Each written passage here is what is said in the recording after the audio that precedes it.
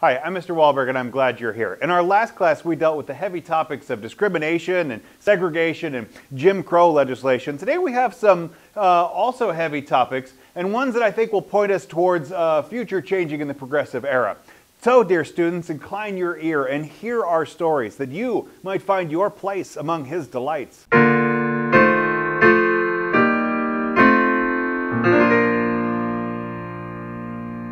We have three objectives today. By the end of this period, you should be able to describe how schools changed to meet the growing demands of society. You should be able to describe the growing presence of women in the workplace at the turn of the 20th century, and also identify leaders of the women's suffrage movement and explain, explain how that suffrage was achieved. But let's begin in Roman numeral number 8. In set point A, I want to talk about the development of schools for children. In the years 1865 to 1895, so in those years, you know, kind of surrounding and ending the, the Civil War, through the turn of the 20th century, uh, many states were passing all kinds of laws requiring school attendance, basically saying that, that at a certain point or for a certain age, school needed to be mandatory for American children. Uh, between the ages of 8 and 14, for up to, and please don't be shocked at how long this is going to be, for up to 16 weeks a year of instruction, almost four months of school in a single year. The uneven qualities, though, of teachers, but also the strict rules and punishments that sometimes came with this era of schooling,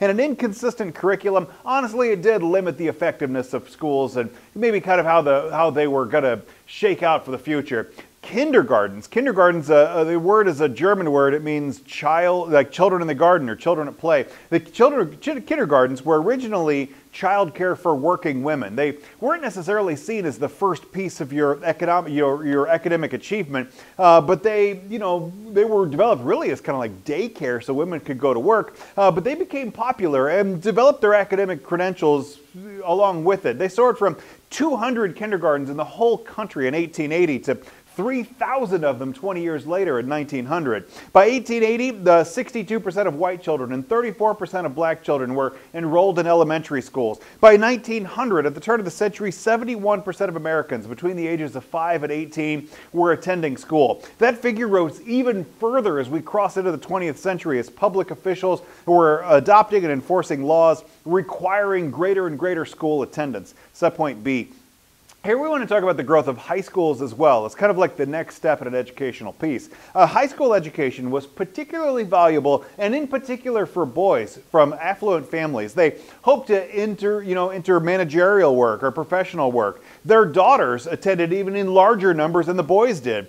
The new industrial economy demanded technological skills and technical skills and managerial skills so people would be equipped for workplaces of the future. Most high schools were coeducational there were boys and girls in the same school, and almost every high school featured athletics. Athletics developing as a way of making sure that boys would stay in school. They would, because, you know, to go play a sport, you had to be a member of the school and encourage, you know, longer um, enrollment in the, in the academic process. By 1890, women high school graduates were outnumbering men, a statistic that, except for a few suggestions, basically has gone unchanged in 125 years, that girls just succeed better in school than boys. So boys, stay in school. Subpoint C, a small percentage of black teenagers were attending high school. So while you do see this growth in numbers of people who are attending high school, we're largely talking about white families. There were black people in schools, but in much smaller numbers. And those that went to school attended private schools with no government support. So we're not talking about public school access to um, African Americans. We're really talking about that they needed to go find their money and tuition on their own, which was particularly hard because when you're talking about African Americans, you're talking about what is the poorest segment of society. Immigrants were encouraged to attend school and be properly Americanized and develop all of those pieces of what it means to be a real American. Though some resented the suppression of things like their native languages, a lot of public school systems were using readings from Protestant translations of the Bible. Catholics were attending their private parochial schools, developing in parallel of the public schools. Basically, as the public schools were, you know, overwhelmingly Protestant, Catholics wanting to protect their own uh, religious heritage were developing parallel private schools. Adult immigrants were also attending school. So adults that arrived to the country were attending school. They were attending school at night. And a lot of them had access to day programs at work. Many unionists were objecting to employer programs, though, saying that education, you know, manipulated workers. And that if you were a worker uh, working for a company that were required to go attend these educational programs that don't directly affect your job, then what you really have is an employer trying to shape their employees on issues that don't really matter to their employment. Subpoint D. Some high school graduates decided to go on the next step and go further their um, academic progress with college, uh, you know, seeking college degrees. As the higher education system expanded rapidly to go meet that demand, the percentage of Americans who were attending college in the 1880s uh, rose from around 2% of all Americans uh, in the 1880s to 8%, four times that number by 1920. Attendance at business and technical skill schools, which aren't really what you think of when you think of university, like a, to go get a business or a technical degree. Colleges didn't do that. Universities didn't do that. You went to a specific school to go study business or a techno technology degree.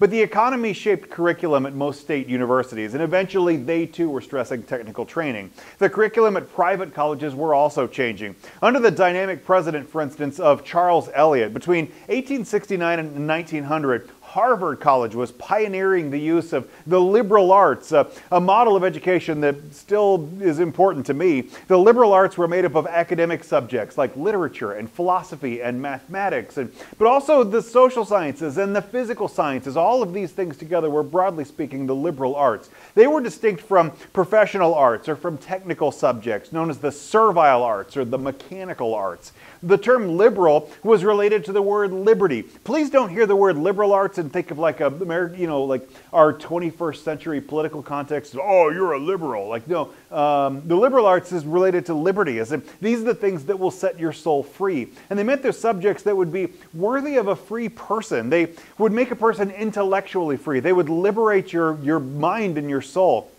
Other educational programs were also emerging such as research universities that offered new types of curriculum advancing the causes of science. Professional law and medical schools were established in the progressive era as well, so attorneys would go get specific training in the law, and doctors would get specific medical training that would be separate from other types of training also. Subpoint E, let's also talk about education specifically for young women. In the Northeast and the South, women were overwhelmingly attending single sex institutions or teacher training colleges where the student body was also overwhelmingly female. So if girls wanted to go to college, they went to specifically women's schools um, or education schools, which may not be specifically for women, but were pretty much for women. For female students from affluent families, private colleges offered an education equivalent to men's. You know, Columbia and Brown and Harvard, the schools of the Ivy League, they refused to admit women. Columbia actually surprisingly late wasn't allowing women. And each university established a separate parallel college specifically for women to go to. They were known collectively as the Seven Sisters. So you had the schools of the Ivy League and their seven sister schools that went along with them. The Association for the Advancement of Women was founded in 1873 by women's college graduates, and it defended women's higher education and argued that women's paid employment was a positive good. And if women go get better education and turn out to get better jobs, that's just good for America. As women began to earn degrees and go work for wages, though, it became more and more difficult to argue that women were dependents and didn't need things like the right to vote. The coeducation uh, you know, so at university level, um, coeducational schools, so that men and women were going to the same colleges, that was more prevalent in the Midwest and the West. Their state universities opened their doors to female students pretty much immediately after the Civil War. Women were admitted to the most to most Southern African American colleges found during Reconstruction. So black colleges were also typically coeducational facilities. Around 50% of college-educated women never married, though. It was a risky thing for a woman to go to college. It was hard to find a man on her level and it might be kind of a path to forever singledom. Uh, as 50% of college educated women never went on to get married. Instead, though, they put their efforts into social reform, and the women reformers of the progressive era became the backbone of real social movement. Roman numeral number nine. Here I want to talk about women in the workforce in a kind of few specific areas. And in subpoint A, let's talk about the changing patterns of living. On southern farms and in Midwestern farms, women's roles basically didn't change much at all. They were essentially unchanged in an entire century. Women were performing the household tasks like cooking and making clothes and doing the laundry. They also raised livestock and were helping with plowing and harvesting crops. Before the era of the Civil War, middle class and upper class women, they would devote themselves to home and family. It was the mark of respectability that a woman didn't have to go work outside of the home. Poorer women did have to work outside of the home. So there certainly was a, a social class to being a stay at home mom, as poor women had to go work for wages outside the home.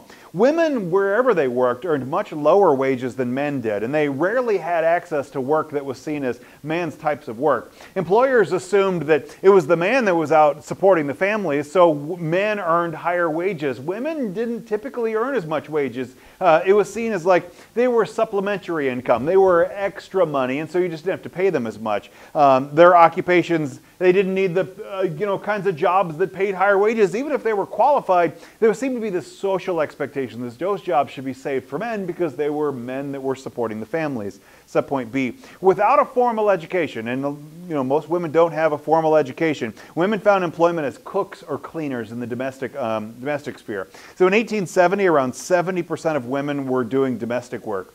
But after you know here when I say freed from slavery, I mean like actual slavery. I'm not talking about metaphorical slavery of women in you know subservient roles.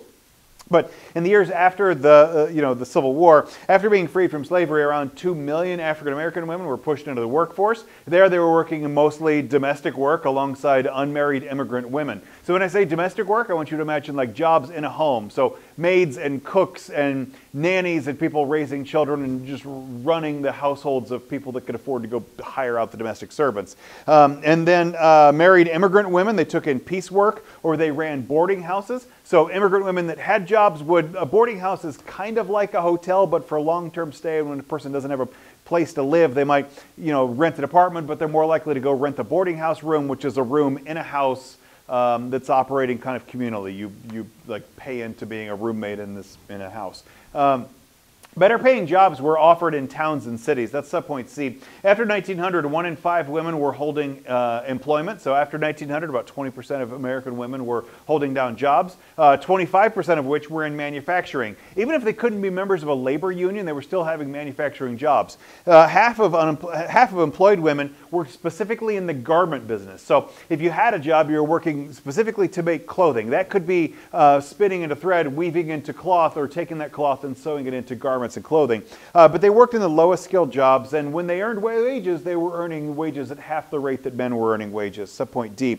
Before the era of the Civil War, um, most clerks at small office firms had been young men. So a person doing, you know, clerical work or secretarial work, they were almost all men before the Civil War. Uh, but just starting out, and they expected to rise through the ranks. It was a way of climbing the corporate ladder. But in a large corporation, secretarial work uh, became a dead end job, and a person could be a secretary for a long time without really a promise of having a, a better job out of it. So its employers began to assign that job with women who were never really expected to get promoted out. By the turn of the 20th century, around 77% of all stenographers and typists were female. So over three in four people holding down these kind of like clerical jobs were women. And by 1920, women held half of all the low office jobs, not just secretarial jobs, but any kind of low level office jobs. About half of them were held by women.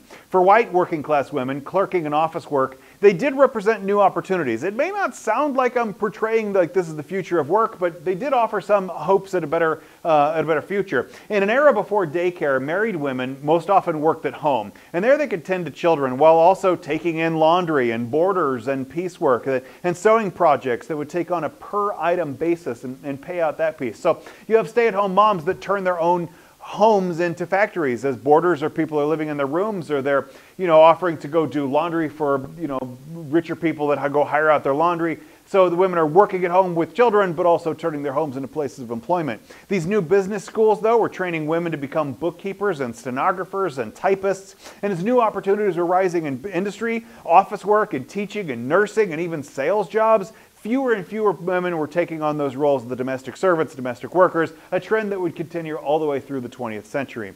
Roman numeral number 10 these economic changes also portend social and political changes. And subpoint A, let's talk about how women get a greater involvement in the social sphere. And here we have kind of a sad story, and it's a sad story of the Triangle Shirtwaist Factory. This was a, a factory in New York City which produced a particular kind of garment known as a shirtwaist. Um, they don't really exist anymore. But you know, when women wear wear high skirts, it's the sort of white triangle shirt that would tuck into the tall black you know skirt of it. That's called a shirtwaist. Um, and, and by 1911, it was kind of a dying fashion, but there were still industries making this type of garment. And in New York City, the Triangle Shirtwaist Factory caught fire on March 25th of 1911. It's one of the deadliest industrial accidents in United States history, and it spurred working condition reform what happened was the doors of the stairwells and the fire exits, they did have fire exits and they did have stairwells, but they were locked. It was believed that workers were stealing in the, in the, in the Triangle um, factory. And so in an effort to like check who's coming and going all the time, the fire escapes were locked or blocked um, you know, kind of uh, control how people were entering and interacting in the building. Um, and so when there was a fire, workers had no way to escape. They were trapped inside the building and they couldn't escape from the burning building. And a lot of them were jumping from high windows. This was a skyscraper building in Manhattan. The fire caused the death of 146 garment workers, 123 of which were women and girls, but also 23 men, and they all died from the fire from smoke inhalation or from falling or from jumping. The fire, that Triangle Shirtwaist Fire, led to legislation requiring improved uh, factory safety standards and helped spur the growth of women's labor unions as women were organizing for not only just better wages but safer working conditions so industrial accidents like this wouldn't happen again. By the year 1910, Williams uh, women's clubs were numbering somewhere around half a million clubs in America. They were growing into reform groups to go promote social causes, things like temperance. That's uh, temperance is like um, banning the consumption of alcohol, or by stopping child labor. These were kind of the traditional positions of um, how women were approaching social reform. Subpoint B, while women reformers were targeting workplace health and safety, as well as housing and education and food and drug reform, because women weren't allowed to vote or run for office, at least on a national level, they had to do most of the change themselves rather than through traditional government means. They couldn't go vote for candidates that would inspire change because most states women couldn't vote. There were some western states which were experimenting with women's suffrage, but nothing on the national level. Founded in 1896, the National Association of Colored Women, in particular, was devoted to the moral education of the race of which they are identified. So you're talking about African Americans trying to say, like, we want to advance the position of African American women. They managed nurseries and kindergartens and education for African Americans. Here we also introduce Susan B. Anthony. Susan B. Anthony was a leading, leading crusader for women's suffrage. When I say the word suffrage, I want you to hear right to vote. You might argue that women always had the right to vote, but were systematically denied that right. But Susan B. Anthony wanted to see that right fulfilled. That she and Elizabeth Cady Stanton founded the National American Women's Suffrage Association. You'll also hear this abbreviated NAWSA, N-A-W-S-A, the National American Women's Suffrage Association. And there they tried to promote electoral equality. Women, though, faced constant opposition to suffrage, denying them that right to vote. Some feared that women would vote for the prohibition of alcohol. And that seemed like a really fair, you know, case that women were out arg arguing for temperance. If you give women the right to vote, they're just going to strip away consumption of alcohol. Or others felt that women would outlaw child labor, which again is a fair issue. Women were advocating against child labor. If women get the right to vote, then they're going to strip families of a type of income and strip employers of a you know, uh, an affordable wage, uh, affordable labor. Others thought that there would be, you know, maybe not in a specific case, but in a bigger sense, if women get the right to vote, it's going to just disrupt society as a whole. It's going to be unsettling for how America understands its own culture as a nation. Subpoint C. Nevertheless, though, you see a, a, a concentrated uh, approach towards advancing women uh, to not earn the right to vote, but to achieve that right. Um, and uh, there was a three-part strategy. The first one was to convince state legislatures to get rights to vote. Uh, starting in Wyoming in 1869, Wyoming is the first state that issues the franchise to women and allows them the right to vote. Uh, but then by the 1890s, that number would include Utah and Colorado and Idaho. These western states, um, one, just had a lot fewer women in them, so it was easier to extend suffrage. There was also a thought that like maybe this would inspire western settlement, but also women in the West were holding down pretty equal lives to what women in the East were doing. They're holding down the agricultural jobs and, and advancing that like men had a hard time just denying women the right to vote in the West because they were more presently seemed to be equals. Uh, to, by, you know, uh, the effort stalled there, though, by the 1890s that just a handful of Western states were issuing the, the ballot to women. To go test the 14th Amendment, and the 14th Amendment promises equal protection of the law. To go for, test that 14th Amendment uh, that said that all states would lose their representation if they denied men the right to vote, Um, then uh, Susan B. Anthony led an attempt to question that amendment to go see if it applied to women as well. She, tried, she and others tried to vote uh, at least 150 times in 10 different states and in, the Washington, in Washington, D.C. Ultimately, Susan B. Anthony was arrested for it, and the date of her arrest is one of the important dates in the timeline of women's suffrage. In 1875, the Supreme Court of the United States ruled that women are citizens. There's no denying that, but rejected the idea that citizenship itself automatically brings the right to vote. So um, Elizabeth Cady Stanton began pushing for a constitutional amendment. Let's go amend the Constitution to allow women the right to vote. And a U.S. Senator from California, a state that had women's suffrage, introduced the amendment in 1878. But when it was introduced into Congress, it stalled there for 41 years, continually being reintroduced and continually being shot down. The path for women's suffrage was not a direct route. It was a winding road that would go through states and go through changes and ultimately split into rival groups who would go compete against each other for the, you know, the voice of how women's suffrage would work. So you, you begin to see what is the backbone of the progressive movement. Um, issues of civil rights for minorities, issues of civil rights for women, changing understandings of the expectations of the workplace and, and how businesses can operate. And all of these things begin the bubbling pot of the progressive era. And I can't wait to tell you more about it. Make sure you like and subscribe. God bless you.